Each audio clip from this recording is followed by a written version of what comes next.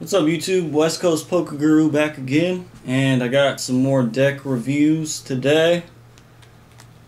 And today we're going to check out the PokerStars.net plastic playing cards.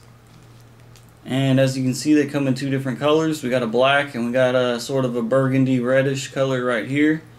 Now these are made by Copag so they are uh, quality cards and there's the, it shows the back design on the back of the package. So let's check them out. And as you can see, there's the Copag logo right there. Now, when you open it up, there's no flaps on the side, on the top. So you got to be careful if you hold it upside down, there's less support for the deck and they all might come spilling out. Just a thing to look out for. Now, they give you a poker hand ranking guide with the Copag logo on the bottom. And they give you two jokers. It's your standard Copag joker. There's the back design of the card. It features the Poker Stars logo on both sides and as you can tell it's just a bunch of varying poker phrases uh, flush, raise, bluff, win, a pair, all in, fold, uh, nuts, poker face, just a bunch of different poker verbiage or wordage, if you will. It's got the white background. I kind of like the back design.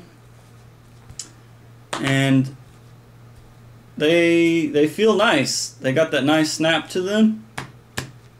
They hold their shape pretty well. Uh, they're they feel nice and thick, nice and quality, so they should hold up pretty nice. I haven't used them yet, so they're not broken in. And here you can see it's the jumbo index, so it's easy to see. Nothing fancy. It's a standard deck. All the face court cards are standard. All the numbers and pips are standard. Um, see if I can find the Ace of Spades. There it is. Copag Ace of Spades. And that's pretty much it for this deck. It handles pretty well. You can do nice uh, riffles with it. It shuffles very nice. Spreads pretty good. So overall, this is a it's it's a fairly nice deck. It's Copag, so you know it's going to be quality. Um, it, I got it for a decent price.